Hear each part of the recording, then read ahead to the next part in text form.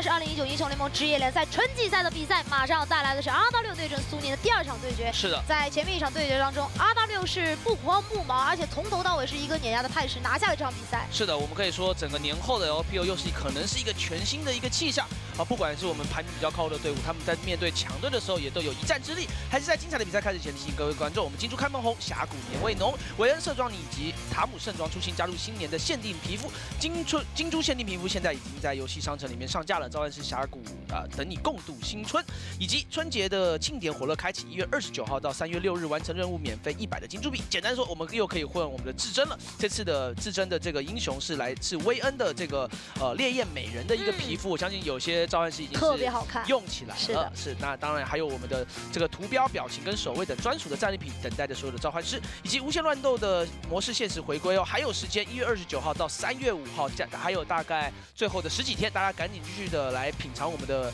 无限乱斗的一个模式，在峡召唤师峡谷里面，呃，还可以加入我们的金铲铲俱乐部啊，可以。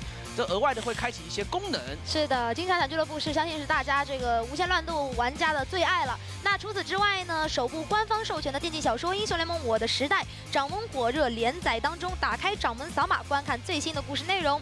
漫威官方合作漫画《艾希战姆》已于英雄联盟宇宙官方世界平台上线，扫码观看。关注英雄联盟快手的账号获得最接地气的撸啊撸短视频。关注英雄联盟在哔哩哔哩有视频、QQ 空间、微视、QQ 看点中的官方账号，获取更多的精彩资讯。关注英雄联盟赛事、英雄联盟的赛事数据微博，知晓选手们的高光表现与队伍的趣闻，从最角度、最专业的角度来了解我们的撸啊撸的赛事。是的，那在进比赛之前，舒怡要不要先给大家一个灯谜猜猜？今年元宵节，哎呀，终于你给我机会，我今天准备了半天啊！给你猜一个灯谜，就是在英雄联盟当中最想。长大的英雄是哪一个？最想长大，嗯，那一定是裤裆里的纳尔啊，不，纳尔，不是 啊，是牛头，因为牛头酋长。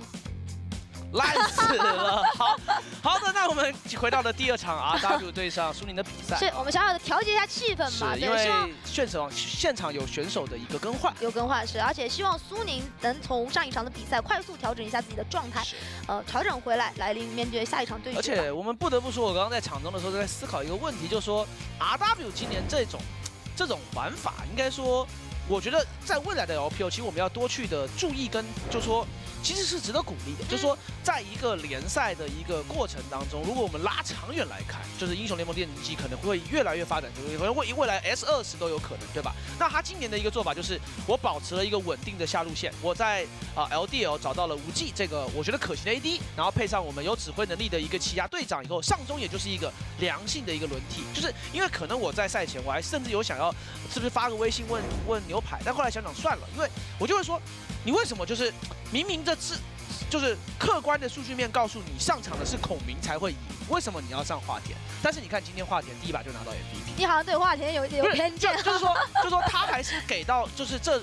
所有上中野的位置的所有选手有一个机会啦，对，我觉得这是正确的，因为呃，从光光从数据上来看，其实我都跟基德的想法是一样的。从之前，呃，华田包括他用啊刀妹啊、各辛呃辛德拉杰斯压锁，效果都不是很好，一场都没有胜利过。但这一场他证明了自己，对，可以看到一个换位的一个情况嘛。微微是上呃是下场下场了，上了骇客，这把上来要想办法连追两分，就说。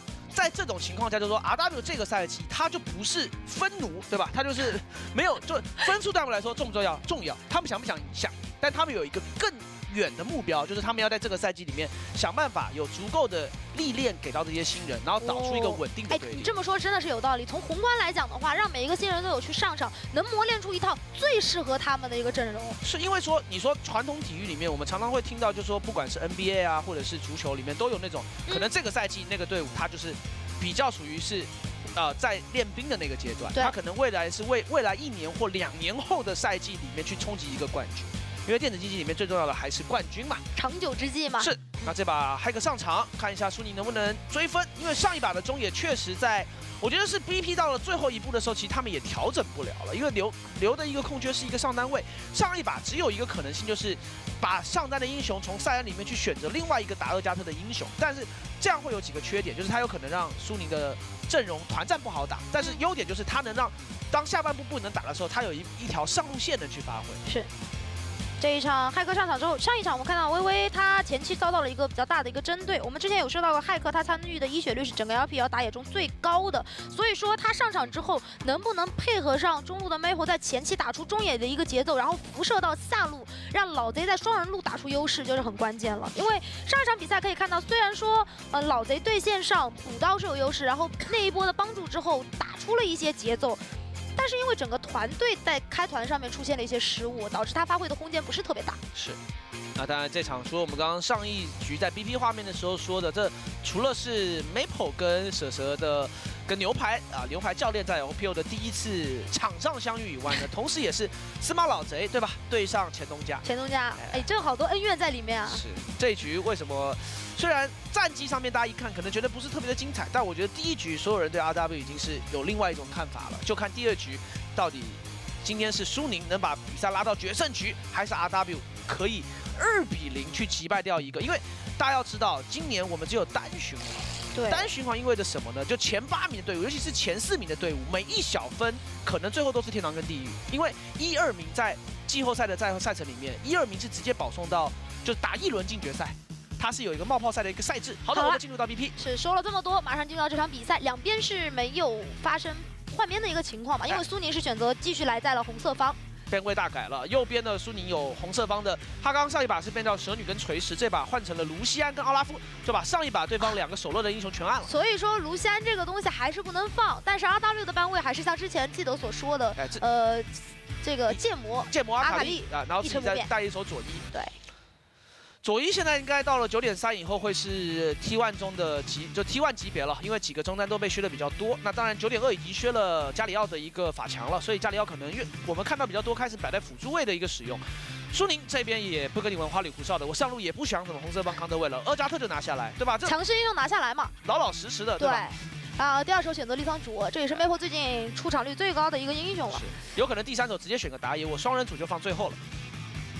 其实我觉得，呃，老贼的双组放最后没有什么问题，因为两边的 AD 对比下来的话，呃，张无忌他不是用 A，没有用过 AP 英雄，对。对对，但是老贼用了很多很多英雄，维克托、蛇女这些都玩过，所以说我觉得老贼的英雄死哥对吧？去年洲际赛大家都还记得，对，老贼这个选手是完全不用担心，是什么英雄都会，华田啊，手感来了。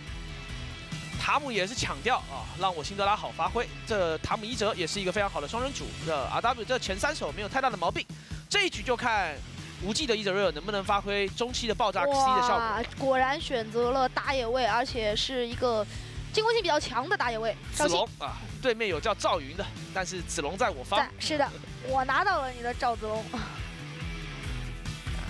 这现在可惜赵云现在这个赵信不能打上单。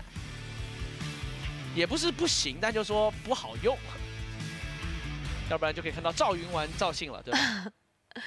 看一下后置位八人的话，苏宁这边是选择封锁对面的打野位置，对吧？盲僧奥拉夫吧，我觉得。看一下 W，如果真要按按还还是把卡莎跟哦他按辅助，我会认为按 AD 比较好。因为辅助位可供选择的英雄比较多，但他可能认为锤石还是 OP，先把锤石按掉。第一锤石 OP，第二我们前面聊到那个话题就是呃老贼的这个 AD 位置，你你按按不完，你摁 AD 还有 AP。第二就是说，我我们刚在九点三，我在赛前提到的，就是在 LCK 慢慢开始热门起来的复仇之矛，加上锤石的暗影岛组合是非常好打伊泽瑞尔加上塔姆的，这个组合打野来就杀你塔姆。好，布隆，另外一边。不按掉，哎，他不按奥拉夫，选择按了一手塞恩。哦，老贼的老贼的维克托，AD 路维克托。那看搭什么辅助？因为塔姆已经是被阿拉比给拿走了。另外一手保护的布隆也没有，这估计有可能是个牛头，有可能是这个你说的嘛，爱长。哎，想长大的英雄，想长大的英雄。好，看一下 R W，哎，来了，赵云选择贾克斯。这局就是我上一局期待看到狼行的，就是就是我没有想到会是在蓝色方 R W 拿到的这个贾克斯，因为你看之前的比赛，就我开锤嘛。对，狼行用到的分担英雄很多啊，包括像鳄鱼啊、船长、贾克斯，他都用到了，比较适适合狼行的感觉，他的风格。但是这一把。赵云选到贾克斯之后，能不能打出分带效果很关键。然后先手是赵云，呃是虚竹的一个皇子。啊，苏宁最后补牛头，也没有太多的辅助可以选了，这可可知。因为维克托配软辅是一个爆炸烂的组合，就大家可以很奇怪，不要问我为什么，问就是会爆炸烂。呃，这手要配一个奶妈吗？奶妈之前其实手手是有用到过。奶妈的话，那他是想赢线的呀，他是欺负塔姆的英雄，就是说奶妈是一个专，就是也可以拿来打塔姆的英雄，很好打塔姆，因为塔姆是很难很难，就你玩塔姆就知道，你很难躲奶妈 Q。Q 技能啊，他 Q 技能可以很无赖的一直消耗你。苏宁的双人组也不认怂啊。那这一局好看的点，第一呢是，哎，上一局呃厄加特打塞恩，这一局苏宁把塞恩给按了，所以赵云啊掏了一个武器大师。然后第二就是说中野现在上上了 Hiker 是冰女跟赵信啊。这个中野组合跟对方的中野组合打起来，就结果就不像上一把我们比较容易预知。嗯，上一场因为奥拉夫那个英雄的存在，会让冰女加盲僧这个组合很尴尬。这局两边的中野都有机会，以及双人组这一场看到了维克托加奶妈这种我们很少看到的一个组合，来下路面对一个我们可以说是在九点二版本到哪怕到了九点三版本都会很热门的伊泽瑞尔跟塔姆，因为这是一个万金牛的组。这个组合可以说对线上非常无赖，你对面不论再强的强开，他们两个都能完美化解。所以说，能不能啊，老贼加上舍蛇选择这样的双人路，在对线疯狂的消耗，打出对线的优质优势，就可以说是一个打野倾向性特别低的组合吧，就是一个不需要队友去投资资源的一个组合。因为这一局毕竟选了武器，所以这一把前期皇子大概率是要去帮助这个武器的。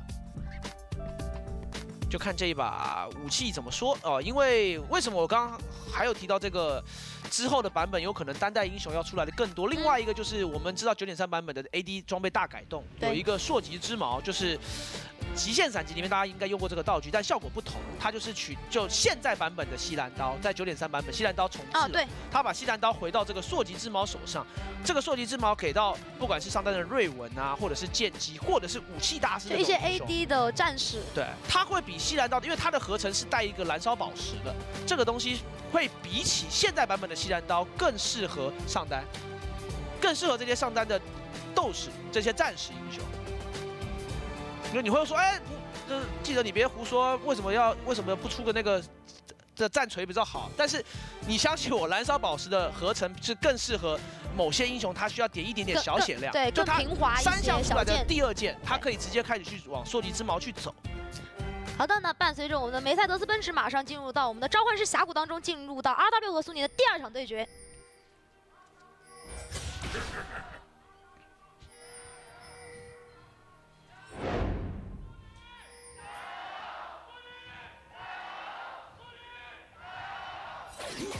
好的，大家辛苦了，也是比赛依旧非常的精彩，大家为自己喜欢的队伍加油。是的，也是感谢所有的粉丝啊，元宵节来现场看比赛。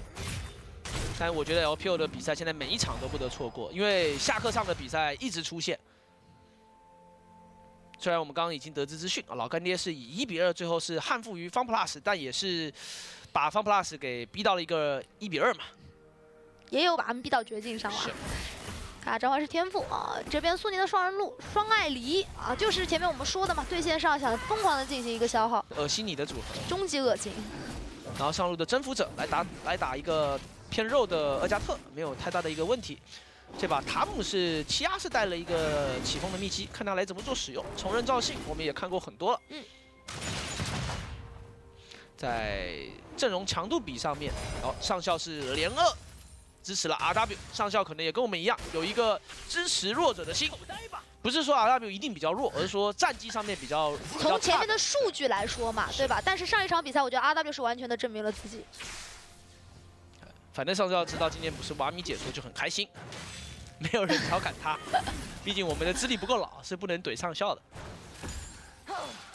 呃，看一下前期的对线啊，上一局其实华田的对线前前三局就打得非常的不错，早早的就把 Maple 的第一个骇客上场之后的效果，看一下两击直接血王来了抓下，一血王来了，就早沉默这边能禁锢到吗？哇，逼出闪现，哇哇，这一下的艾丽伤害过去了，我的天哪，果然是一血王。呃，一血吃鸡，呃，想吃肯德基，跟着骇客走，哇，这一波又是一个直接拿下一血。有骇客的地方就有我们的优惠券。这波很，他很清楚就是要杀这个塔姆，而且 Sora 的这波的一技能就封的非常非常的漂亮，先沉默，然后最后那个边缘的位置进攻。给到了维克托啊，艾黎啊，力流系带绝对专注，风暴聚集，带了一个血之之位跟这个吸血的猎手，应该是贪欲猎手。哇，骇客一上场，整个节奏的感觉就不一样。他是这边过来反一下 F 六，我感觉老贼都不觉得这个人头拿到了，很稳。虽然交了一个闪现，但是把奇亚的双招跟人头都给拿到。苏宁这一波骇客的二级 gank 起效，而且这样可以。频繁的在下路压，下路疯狂的进行血线的消耗，与此同时兵线进来还可以魔防御塔，这个第一层的镀层已经要赚到了，而且这个组合最恶心的地方就是你在塔下补刀都很难受，你在塔下都可能存在被消耗的一个情况。他不是能怨你，但是他能让你的张无忌贼难受，这没办法，无忌最怕的就是漂亮的女人。索尔的拿的这个，这的确很漂亮。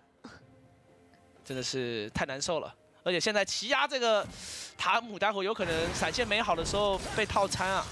啊，这个眼看到了，这眼看到了，这个眼还是放的比较有先见之明的，因为毕竟知道骇客在自己的下面附近。哎，塔姆吞一下，塔姆要赶紧吞，这无忌在被被打出重刃，有可能就要被硬杀了，因为赵信现在是还有闪的。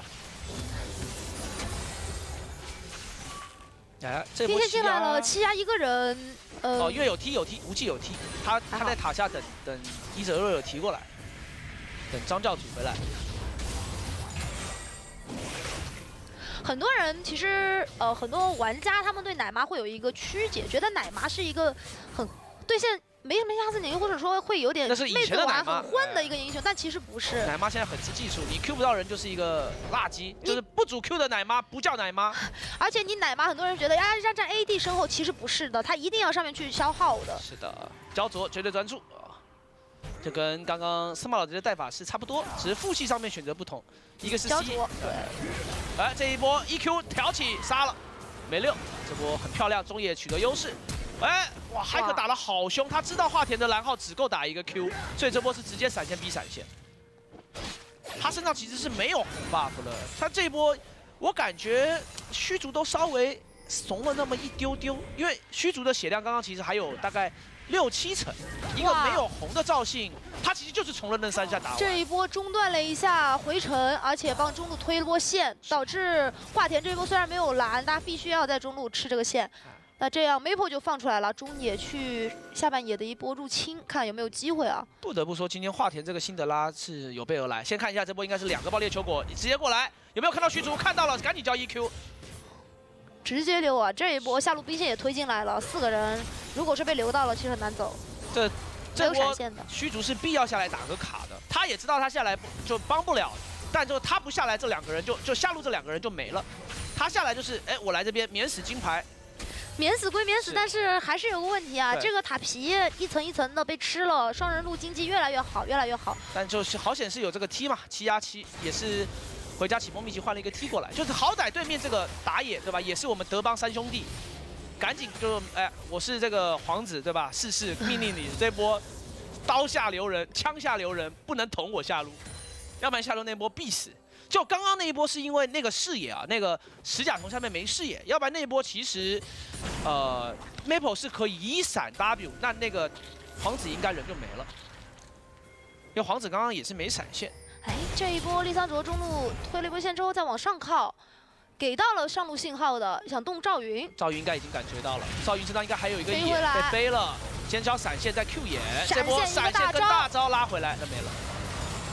他被背到，而且这波有点火。如果说我觉得这队友已经给信号了，在狼行要背他之前，提前交他闪现 Q，直接闪现 Q 也。对，闪现 Q 是可以走的，就不要等看到 Maple 再再交，就想操作一下，没办法，谁叫我赵子龙一身是胆，但这波胆子太大死了。嗯，就他觉得我还能走位，哎，要是我把这个气给扭掉了呢？哎，是的，还是有操作空间的，觉得。就玩武器的人都有一个小操作的心，对吧？想修的心。目前来看，苏宁的上下两路是有一个对线上的优势的。上路的刚是刚刚中但是你近眼一看，发现推线的过程中，老贼漏的刀漏的比较多。我刚刚才，你不是我还没有注意到，的确是有点多了。是我刚啊，没有没有没有，抱歉，这个打自己脸，他是这个工资装，哎，他是绝石流，他是恶意漏刀的，不不是恶意，就是哦故意的漏刀，他要先把眼石出出来，这个就是因为我们九点二版本，但是九点三的热修已经在 LPO 的比赛服特定上架，哦，热修所以现在对只有一千五百码内有队友，你的工资装才能。蓝工资装打人才有钱，所以现在只剩下下路可以绝食。我记得毛哥长毛老师昨天解说的时候也提到这个点，就现在只剩下下路的 ADC 可以做这个，就是拿一个眼石的作用。再围回来，没有闪现的贾克斯，先靠 Q 技能拉开身段，泰克的位置比较靠后，接不上。就这样的话，好处就是待会儿苏宁的眼位会多一个眼石，这波要直接想杀 Maple，一技能过来。伤害差了一点。这波主要是有余震，Maple 也知道这波有余震，血量是满的。对，而且 Maple 自己也是出水银鞋的，上路想直播强杀，但是反击风暴晕到了。第二波进去，第二波呢，兵线这么多呀，虽然蓝耗不够，但应该平 A 就没就完事了啊！哎，还交一个这么暴闪现，躁的吗？感觉没必要了。他可，我感觉，除非他这波交闪只有一个理由，就是他觉得对方的打野已经到右侧河道，就已经到河道右边了，他才去交闪杀，要不然跳眼走呃其实应该也是追得到是你可。以看到下半河道这个是有一个针眼是看到了打野的动向的，啊，要不然就是说他想要赶紧杀这个人过来推这个塔，反正闪现是会好的嘛，人头反正闪现是必拿的嘛，早用早滴滴。赶紧把这个塔给磨掉。那这样的话，上路武器选出来的价值就有点低了。这一局其实问题点出在哪里啊？就这一局的问题点是出在苏宁的下路线拿出这样的组合，给到 RW 很大的压力，逼迫着虚竹早早的要下来就去保，变成是武器在上路孤立无援，然后武器第一波没有选择直接交闪 Q 以后连锁效应又被套餐一波，造成了就是现在两颗人头的落后。那可以说这个武器基本上要有十五到二十分钟，他不在这个游戏里面。就所以说，为什么我们说我们会鼓励武器打二加特这种选择，但是为什么他很少见？因为战队是分奴，战队要的是胜利，这种打法是高风险，你还不一定能说他高报酬。你的这句话合适吗？战队是分奴，战队的确是为了胜利嘛，跟大家平常打 rank 这分奴不一定是是个贬义词嘛，啊对不对？那我们当然不希望一个联赛没有队就队伍都不是分奴啊，那队伍一定要是分奴啊。打比赛一定要有颗想胜利的心嘛。是刚刚看庄园路对线真的是好难受啊，就是两个绝食性的就步步刀，我都在想这个司马老贼控制得住自己吗能不？能带行窃预兆了？我都在想，因为对面是有行窃预兆的，所以导播如果帮我们切一下经济面板，伊泽瑞尔现在的经济应该还是高过于司马老贼。已经合成了，哎，哎，哦出来了第一一千多哦，因为有镀层，嗯我忘了算镀层，抱歉，打自己脸，三层的镀层加上去，就如果他这一局你想想看，他带的是行窃预兆，那他的经济现在岂不要领先对方一个红水晶？当然他不一定有机会平 A 啦，所以还是带个这个艾黎，主要没有艾黎刚一血就没了，所以这个艾黎还是很重要。他现在应该是少了少了四十刀，然后经济是领先的，然后恶心的地方待会就要来了，待会 RW 可能有人打着打着这个中路的华田，你就看他一个零杠零杠一，他就出现场金了。但是这个效益因为只有一个人在绝食，所以不是那么的强。然后另外还是提醒观众啊，这个赏金普刀赏金的计算是不不计算打野的、啊，所以就算我们再怎么看到恶心的比赛，应该不会有五个攻之装。大招换大招，旁边皇子，啊哎这位置不敢上了不敢上，哈克在旁边啊，这位置上去就 EQ 都戳不到，还可以在旁边直接一个星月守卫，上来闪现头大招打一波伤害，一个 W 捅到一丝血，皇子这时候过来 EQ 直直接盖大招，一个奇压一个单轮车过来，无忌是呢收下了一个人头，无忌是没有选择坐车，是选择利用 TP 乾坤大挪移前往中路，哎，但是这一波上路的狼行能不能拿到一血塔，应该是可以拿的。是，这波奇压跟无忌也是看到中野打得火热，下路反正我也守不住这座塔，不如过来打打架。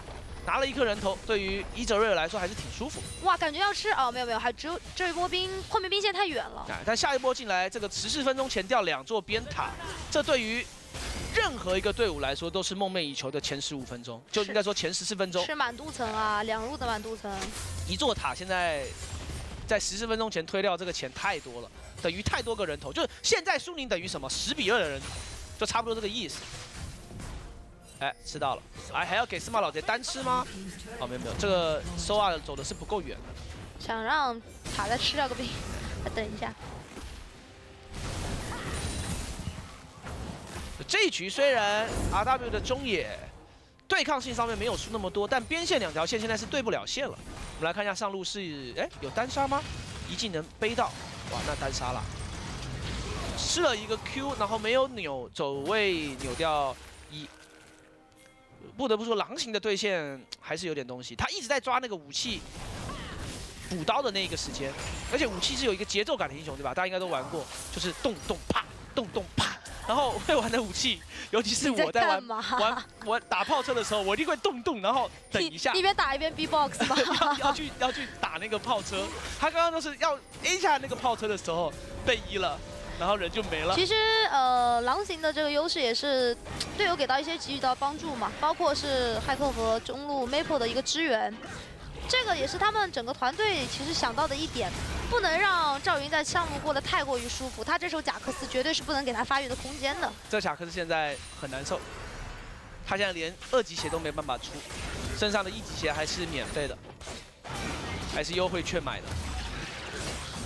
海克拿个峡谷先锋啊！你想想看，这是十四分钟前两座满镀层的边塔，还没有用峡谷先锋，这个优势是比天高，就比 RW 上一把的优势。这一把苏宁在前期制造的更多，而且他们这局有两个延迟，在视野上面是天生的比 RW 来的好。就这局没办法，毕竟苏宁现在是在争前四的队伍。先来看一下上路这波抓人，哎，前期你针对我还是要针对狼这波要强杀，应该是没有队友过来支援，那应该是卖了。啊，这波塔姆的车是来自于阿达塔姆过来舔一口，还吃到了助攻。啊，这一波还是给了温暖啊！赵云很开心，子龙这一波非常非常的开心，是个大人头。是。这六百块的赏金立马给到武器，这武器至少争取了五分钟的发育时间，他可以提早五分钟做人，啊不就成型。做人感觉做人你也太过分了吧？不是武器没有装备是打不了。奶妈一口大救了一下。也是塔姆吞一下，规避一下维克托的伤害。这奶妈奶很大的，他还有两口奶呢，他身上有口救赎，然后还有一个治疗没有用。你是什么意思？就不是我，不是暗示你。你在我旁边说这种话。三五先锋照出来，直接撞中路。哎，这波知道你上路交技能。防守了，而且中路的话，华田也是状态比较残，而且大招已经用掉了，不能对苏宁造成太大的威胁。但右边现在点塔不是特别的快，这波防御塔的血量应该还够撑。哎，打了一下眼睛，峡谷先锋 TP 绕后了，TP 绕后但是没有用啊，旁边三个针眼就像三个门神一样洞察到贾克斯的位置。哎，就苏宁现在这个进攻，你就知道他他现在这个什么中路线这个圆弧上面是一整一整圈眼，一整圈眼就形成一个保护伞一样的保护阵。我觉得两个眼石是我能忍受的极限了，好吧？再多眼石这个眼这个比赛看不下去，因为。优势方就跟开图在打是没有什么两样，就密密麻麻的地图上面都是眼，而且不止恶心的是两个眼石啦，恶心的是他们每一波出门每人都还带针眼，你看到刚刚那一波，呃贾克斯 TP 绕后的位置是被两个针眼所看到的。是，就现在河道 RW 是不能轻易过的，而且这个装备它就以前我们说打野出眼石对吧，还要花的钱还比现在多。啊，应该是少一点点，但是现在的眼石会额外的赚钱，以前的眼石不会，所以你算一算，等于这个眼石花的钱比以前少，是赚的。哎，就我我我昨天在睡觉的时候还在想，我还是想要开发盲僧带圣物之盾的打法。你的，但是国服玩家要注意了，有可能白金分段的朋友就要排到我了。我一直觉得我在生物之盾，然后我就去线上把这个生物之盾用完，我把我的豆豆消光，我就去继续打野。你把你身上豆豆消光继续打野哦。对啊，因为盲僧如果有这个眼石，是不是哎很牛？就我可以各种回旋踢摸眼，对吧？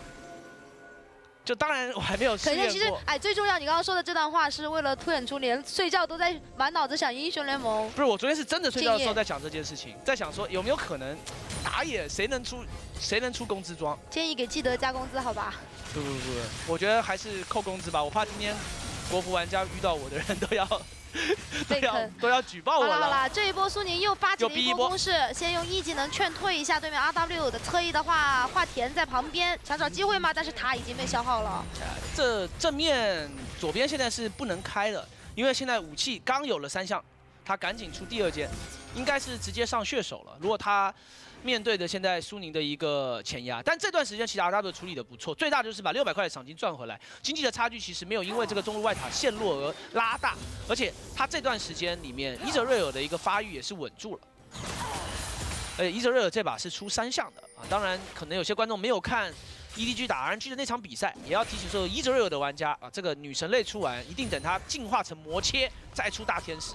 因为这个东西我也去查了，其实拳头没有做任何的解释，就说到底为什么这个城市码里面，但是如果你同时身上有大天使跟有魔宗，那一定会先进化成炽天使之杖，这个是城市码设定的。我自己开了自定义也刷了一下水滴，就是无论如何它都是先进化大天使之杖。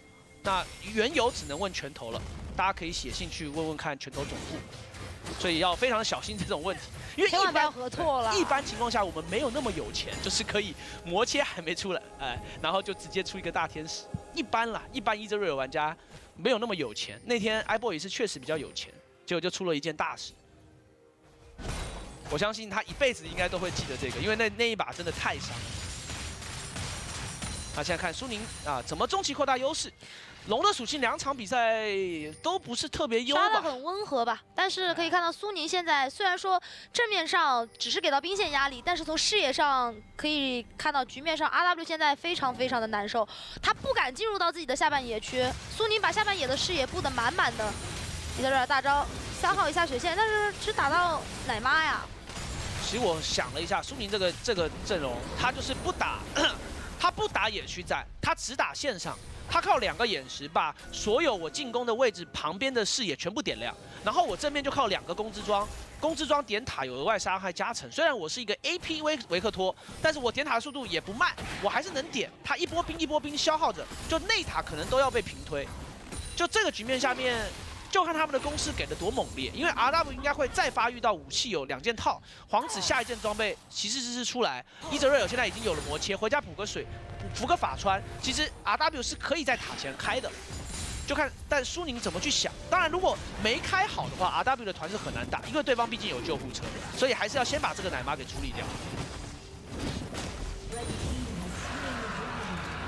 死掉，下一条是土龙啊，苏宁终于看到了自己喜欢的龙属性了。但我觉得他们这场其实打打男爵不是那么好的选择，因为打男爵的速度不够快。他们这个阵型打男爵是真的慢。嗯，而且他们也是在红色方，龙坑位置对他们并不是有优势。所以说，哎，其实不用打大龙，我就像前面记得所说的，他们先用视野进行布控，然后就拿他们的一个消耗的一个模式吧，去去推进就可以了。有一种获胜方法叫做 siege，对吧？就是推进，推。就我们所说的 poke 阵的典型赢法就是推进，靠正面推去获取胜利。他不一定是要把团打起来，他只需要消耗对方。是，而且还有一点，就是因为苏宁这边的三手 TP，他们完全可以选择三路一起去平推，视野只要布控好，不要被抓，就没有太大的问题。奶妈像这种救护车的这全全地图的大招，还可以给到分带的一些如果被抓的一个支援。一个保护，苏宁的强势期马上要来了。他现在上路的厄加特石像鬼石板甲已经准备到手，然后中路 Maple 准备补出鬼书，然后老贼可以准备掏三级核心啊，配合他二级的一个混乱风暴。这段时间正面打起来的话，左边不是没有一战之力，但是左边的容错率低，他一定要开得到，开得非常好。嗯。刚刚看到华田，之前上一把的辛德拉推到谁就感觉伤害非常高，直接给大招。但是因为蛇蛇一直站在老贼身旁，给予的这个帮助和温暖，他就完全推到之后消耗都不想消耗了。而这奶妈会站的比较猥琐的位置，不会让不会让辛德拉就留到先手的。因为辛德拉现在最想要的就是。推到奶妈一波秒掉，那这样的话 R W 会在那一波时间开，因为 R W 这段时间其实我觉得他也没有想要打团。你从武器的装备选择，他第二件是要走巨九，他没有第二件上打团装，他应该是想要再带一阵子，因为 R W 应该也会认为苏宁这个阵容打大龙的速度不是特别的快，而且土龙也是下一条龙才是土龙，所以他们选择再跟苏宁啊拖一段子，他们也发育一下，两边可能暂时都不会打起来。那现在的上校发话了，上校在这个场面暂时冷静下来的时候，哎，说出了他的预测。上校说完，哎，谁谁支持谁反对？所以怎么看？七乘七乘二左右，七乘一。七成其实有点太太多了。如果说能给 R W 一个喘息的机会的话，R W 还是有一定的可能性的。毕竟他们其实正面开团还是比较猛的。虽然说前面苏宁可以通过三 TP 去单带，但是别忘了奇亚是一手塔姆，塔姆的支援速度也是非常快。如果能抓到一个边线也是机会。看一下这一波，想抓一下单带点，赵云飞到了，而且蛇蛇在旁边先给上一个沉默。哎，这波不是一打一。救护车已经救护车在旁边，一个带着救护车的，你说这不公平。赵子龙将军决定也是且战且走，这波赶紧打爆点球果，能拖人多的时间是多少时间？看到了冰爪，知道自己要吃到禁锢，那应该是无路可逃，把他逼飞离墙边。赵云最终成为了 Maple 的冰雕。这波边带线上面还是没办法，这波一打一我还真的说不准。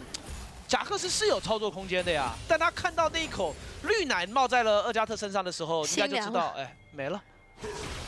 这波自己带的位置还是稍微趋前的，主要苏宁现在的视野很好，就是他这波抓下对方的红区有一个控制守卫，有一个假眼，这两个位置只要一看到，他就知道对方的中野有没有往下靠，顶多他不知道塔姆有没有带车的开车带人过来。其实这也是赵云自己在下路单带的一个情况的问题吧，就是他这时候贾克斯在下路单带，但是从他的视野来看的话。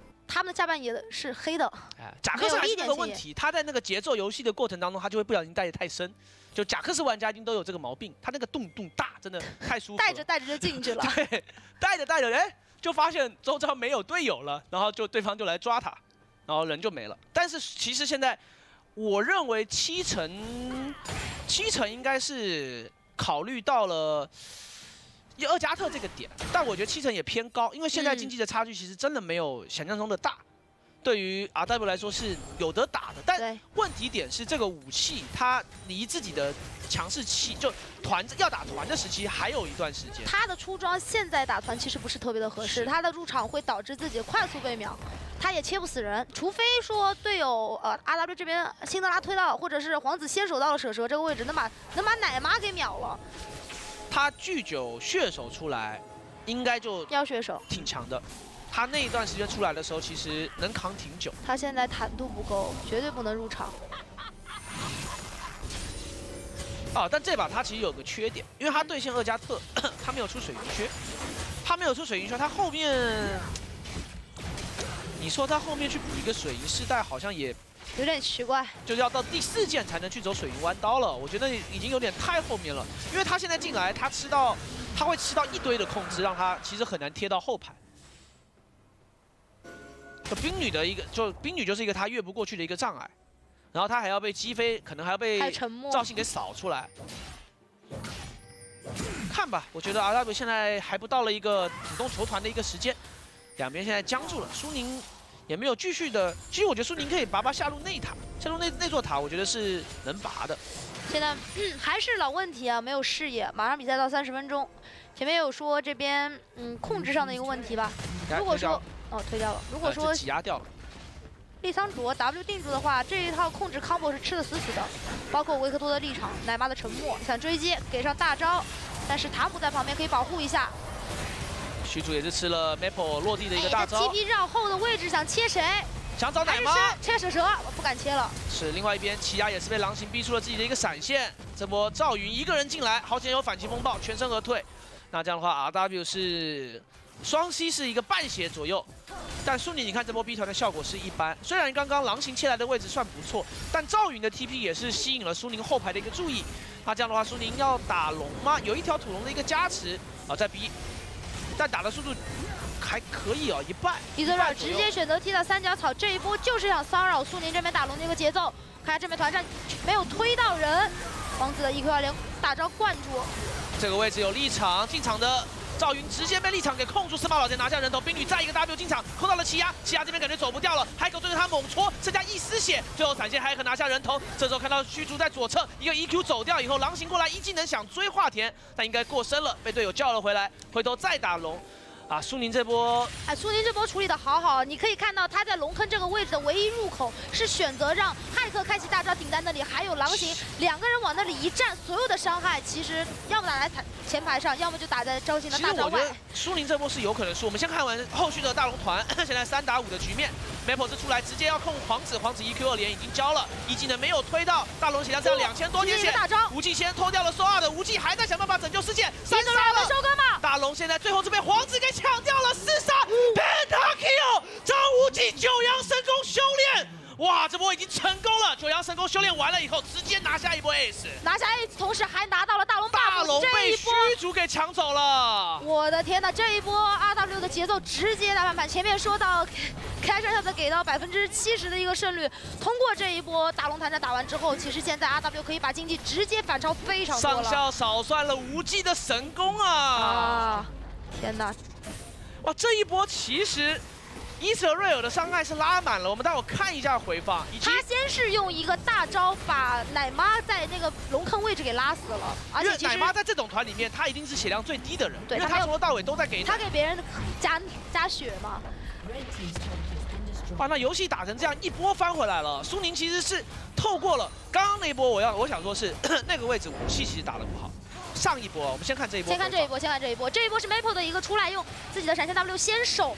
但是无奈的是，哇，伤害啊！龙也在打呀，龙不单是 RW 的这波反击，大龙也在反击啊。而且他无忌是先偷掉一个，然后往前压。这个时候 Hiker 面临一个抉择，就是。他血量不够斩杀掉这个男爵，但他也撑不住了，所以他选择出来把自己的血量卖光。他出来导致他先被秒掉，以后在龙坑里面的人没有一个惩戒，然后最后是虚竹闪现进去，皇子惩戒掉这个男爵，就是我全都要。RW 拿了团灭，拿了大龙，一把把游戏给扳回来了。就刚刚那个位置，我想说的是，赵云那个位置不应该进去。就是皇子那波有大，皇子盖的那个隘口以后，应该那个竞技场里面不要有人。那个竞技场里面应该是让伊泽瑞尔跟希德拉在上方打。上方打 poke 的，对。但皇子进去，皇子踩在了这个地地心引力装置里面，踩在了维克多的 W 上面，然后直接被控死了。好，赵云这把应该也是第三件啊，看到队伍有优势，想要直接上一个春哥，上一个守护天使。哇，这一波残局主要是苏宁这个阵容打大龙真的太慢，就是这个阵型唯一的缺点就在于打大龙真的慢。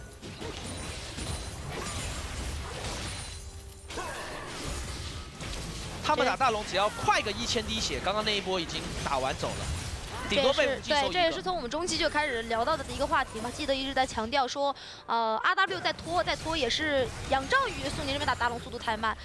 而 RW 这边的 poke 能力其实还可以，只不过说因为苏宁这里清线能力也不是很弱，所以每一波兵线进来都第一时间被清理掉了。就这种先手能力一般，但是拥有很强的视野的这种双攻之装的的的阵型上面，其实最重要的是打男爵速度，因为你打男爵速度够快，你才有办法利用大龙作为一个。哎，这有点顶不住了，无忌的这个 poke 能力。伊泽瑞尔这段时间是无敌的，现在。除非嗨可进去配冰女逼出技能，然后狼行再跟上去打一波大招，要不然这个伊泽瑞尔现在很难杀。正面是平推掉了上路，那现在中路刚刚是已经带掉了，上一波之前就带掉的话，这样子两路的水晶告破了。苏宁这一局其实打了整整二十五分钟以上的好局，但是最后在男爵这个处理上面毁一生，一步小小的抉择上的一个失利吧，失误。哎，上校，你现在出来上校真的是上校很真实，对，很真实，是，而且一如既往的真实。上校这个只玩真实，好吧？这一场打完，现在给八乘三，我反而觉得给低了。说实话，就右边现在这个阵容，赵云这手贾克斯在，主要你要看无忌的装备啊，无忌那个五杀拿完以后，他这个装备伊泽瑞尔，懂的人都懂，好吧？这段时期。他的伤害是爆表，就现在 Maple 的压力是贼大，就 Maple 没闪，他有可能在一个不好的位置，要直接被这个伊泽瑞尔偷出大招的，就是偷摸几下，然后他被逼大，大一放完，Maple 没有用。了，就这个冰女这个英雄就没用了。然后现在厄加特原本发育的很不错，现在扛不住，扛不住现在这个两个大大水晶赵云的贾克斯没有出血手，直接选择出春春哥这一波闪现逼闪现了逼闪现了，没有闪现。闪现 baby 伞，RW 能不能拿一个二比零呢？哇，那只能说前几名好像都在翻车啊。啊，方 plus 没翻，top 也没翻啊。IG 前几天是输了一把，输给了老干爹。下路的外塔想进行一波推进，还是那个问题，苏宁清线速度还是比较快的，只能靠伊泽瑞尔在侧翼进行消耗，打 WQ 呃 W 点塔或者 WQ 人。现在就说人保教主。我刚刚在看到那个网上有人在说，呃，张无忌首任叛徒。我觉得比较有趣的还是就说，不是说老贼这个转会的梗。我的我我觉得比较有趣的是，我今天在来解说前，对吧？你们要知道四大护法里面有一个是金毛狮王谢逊，你看就是对面这个苏宁，这个金毛 狮王就是这个叛徒，好吧？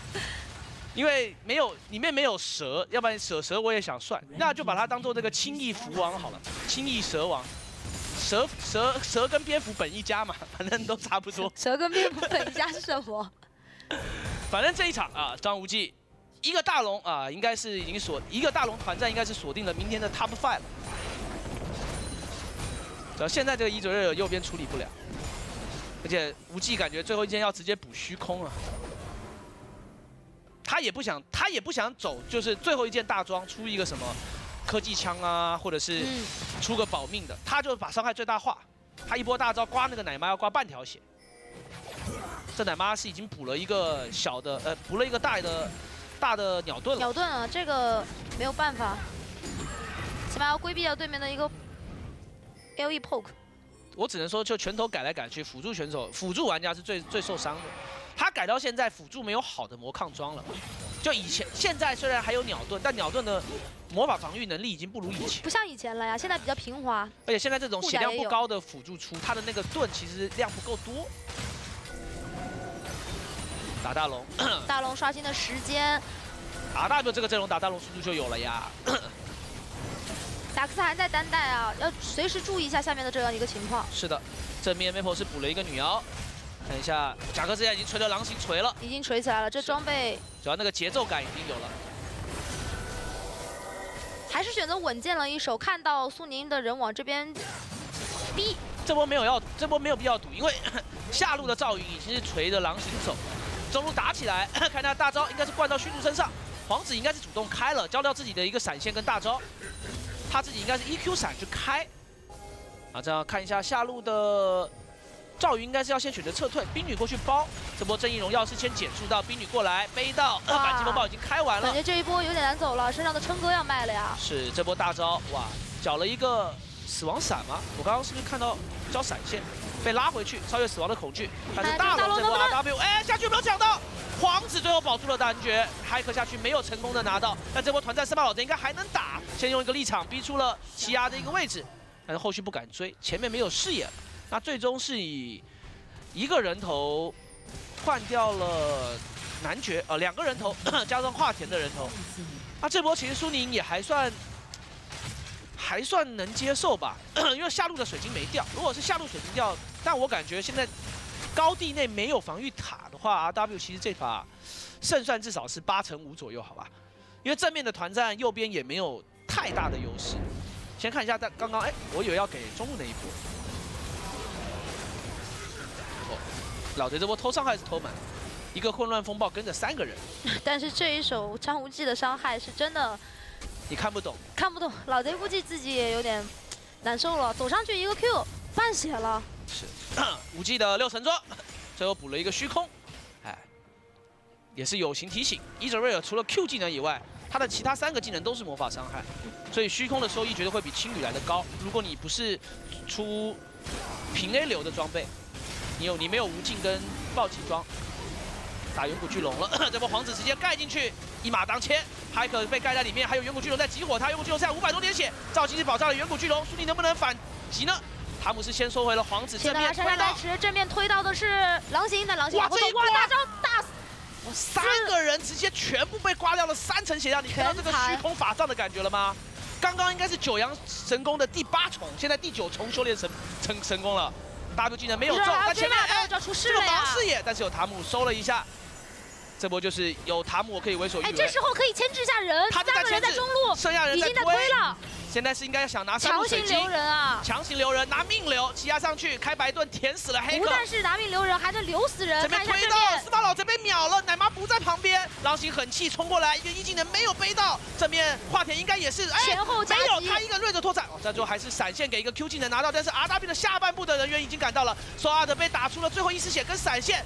赵云是一个反击风暴晕到以后虚竹过去，没有 EQ 二连，但是正面的小兵已经是进来了，这波大家对武器还在啊，想要一波 W 点塔半管塔的血量，下路的水晶先推掉，下路的炮车再送进来，这边只剩下狼行，看一下 RW 这波怎么选，无忌可以先回家，补波状态再过来，直接 TP 上来，哇，会前空大轮移就是好啊！无忌又来到一个正面满状态的六神装伊泽瑞尔落地，正面直接 W 点掉上路这边的复活时间，赵信还有九秒，有点来不及了。晕到奶妈被锤死了，剩下狼行一个人阻止不了对面拆基地，RW 要拿下这场 BO 三了，我们恭喜 RW！恭喜 RW 天二比零拿下今天的比赛。我相信应该是大家很多人都没有想到的、没有猜到的这一点。RW 今天证明了自己，心不妥协，心不受限，是吧？我我这个行跟心，我每次都会忘记。确实，我们看到了这个新军，可能这五个队员他们的名字你们一定都听过，但是你们对于这个选手的认识可不是能很了解不。是很了解。但是今天这一战，你们要记住 LPL 有这样新生的一个力量，他们今天确实是出生之犊不畏虎，打的第一把是一个阵容优势啊，从前期到后期稳扎稳打拿下。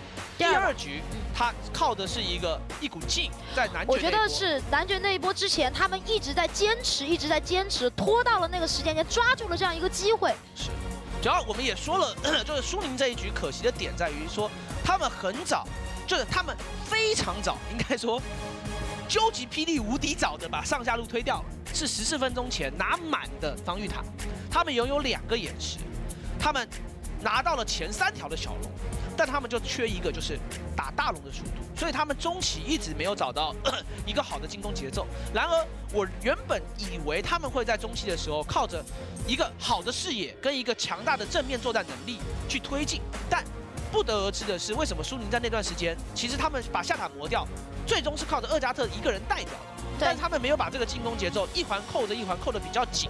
虽然他们成功的单抓了一次边带的武器，但是那波男爵就是还是那波男爵，苏宁还是他们判断自己打打大龙的速度还是有一个失误。看一下这场比赛的一个赛后数据对比，看一下曲线图，像在看韩剧一样跌宕起伏。最后通过大龙 buff 的那一波争夺啊，张无忌拿下五杀，导致整个局面进行一个扭转。是，就选伊泽瑞尔的时候就说这个英雄就看就看技师，这个英雄就其实操作者特别的重要，全场最高伤害张无忌。虽然老贼这场也是打出了很高很高的 A O E，就这一局我反而觉得就是今天两场啊，就说虽然 Maple 我的老乡也是以前泰过的选手，但这一这一两局我觉得冰女的作用并没有在。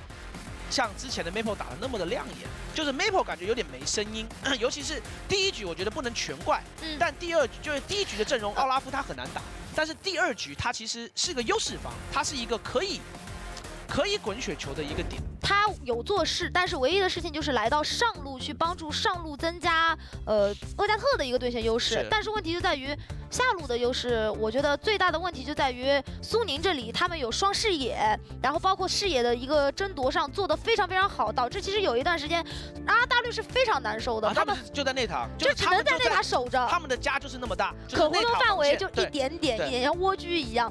但是苏宁没有办法滚大他们的雪球。是第一，我们说了嘛，没有办法快速的 rush 大龙。第二，我觉得还是在推进的方面有存在一些问题。这这一个二比零对 RW 来说是非常的不容易，但但于对于苏宁来说就比较可惜啊，因为他们过去来说，他们只有二比，他们赢的比赛只有对上 VG 的应该是 第一场春节呃春季赛的第一场比赛，他们是以二比二比一胜利的，剩下全部都是二比零。但今天的一个落败零比二，等于是把两两分的小分给丢了呀是啊这这个对于前面的竞争，所以今天看完这场 BO 三，有一个队伍最开心，请问苏怡是谁？当然是在他们后面的这支队伍他啊，们非常的开心。他们心里想，哎，怎么怎么回事？Top 今天名次赢了，就是对，Top 今天没打比赛，但他的赢次是超过了苏宁。本来是小分扣两分。本来小分上的差距嘛，落一分嘛对啊，对，今天哦，今天大分等于胜率也高了，因为苏宁现在多赛一场。那这一场对局，我觉得因为能分析的前期点，我觉得我们分析还是比较到位的。嗯当然，我觉得上上那时候给的是多少？七成对吧？七成，七成那成，这我觉得我那个时候说的稍微高有点多了，就，高的那一点，我觉得就是那百分之五，我觉得就来自于打大龙的速率，因为他们打大龙速度真的不够快，所以也也变成了给一个伊泽瑞尔最后收割的机会。其实我们说一个马后炮的话啊对，除了当时苏宁有这么大的优势，除了他们去打大龙滚优势，我觉得还有什么样的一个办法能将优势最大化呢？其实他们那波团打完，他们回家出来，经济应该是落在四千到五千，就他们可以继续这样玩，就说他们能打大龙，但是他们不能低估对方伊泽瑞尔在那个时候的作战能力，就说大龙的牵扯不能做太多，就是他们那波打完，其实我们以马后炮来说，究极马后炮就是 他们打不了了，因为打完的结果你看到了，各位看官看到了，对吧？但是他们能做的事情就是继续玩，继续继续拿大龙逼，这就这是他们能做的事情。因为龙属性不在他们那边，因为如果给了两条土龙给他们，嗯那他们可能就会舒服非常非常的多，是或者是他们那时候应该冷静一下，喝一下我们的战马能量第七件。哎呀，刚刚想说这个，就是这场比赛打得这么激动，相信当时候当时啊，无忌拿完这个五杀之后，也是相对来说有点口渴了，大家喊 nice 应该喊的都已经没有了能量。那这个时候需要什么呢？就是我们的酷炫神装第七件战马能量不掉线，欢迎大家前往京东商城搜索战马能量型维生素饮料，get 幺飘同款能量神装，用满满的能量 carry 全场，人人都可以成为张无忌的伊泽瑞尔因。为那那那一波打完伊泽瑞尔是直接原地起飞，回家带了一个爆裂魔杖，然后过不久就把他的虚空法杖给掏出来了，就是九重天已经修炼成功以后，这个伊泽瑞尔，挡不了。就他在那段时间之前团会有一个问题，就是他打这个狼行要打一段时间，他打二加特要处理一段时间，但是那波团完以后，他点谁都是 W 挂上去打一套，那个人要掉三分之一条血。这种时候，伊泽瑞尔就是将近在那段时期是一个无敌的存在，只要他自己不吃失误，吃到控制的话。好，那我们来看一下粉丝贡献榜。第一名啊，司马老贼，这已经是我们的老朋友中的老朋友。老朋友啦，哎，后面有一个英文版本的，哎，也是司马老贼，粉丝量非常的多啊。老贼今天第二局，我觉得算是尽力局吧，呃，应该至少是个甩锅局，就是输赢跟他的关系不是那么的大。哎呀其实他们选择维克多加奶妈在双人路已经打出他们该有的强势了，就是十四分钟上下两路都是吃掉满镀层的一个防御塔的，前期优势这么大，还是没有选择好处理的方式啦。我觉得就今天，其实对于苏宁来说，我我认为哦，苏宁的想法上面来说，不用说了吧？哎，不用是谁说了，？不用说了，这这肯定是了。等会儿还说什么呢百分？之四十五的伤害占比，这能不给他吗？完美的 KDA，哎，张无忌的手的这个姿势就在运他的大招。哎，在运他的九阳神功，哎，确实是无忌啊！这把今天是把光明顶给守住了啊，重新复兴了明教。哎，其实当时那个龙坑，对，当时那个龙坑呢位置还有一点。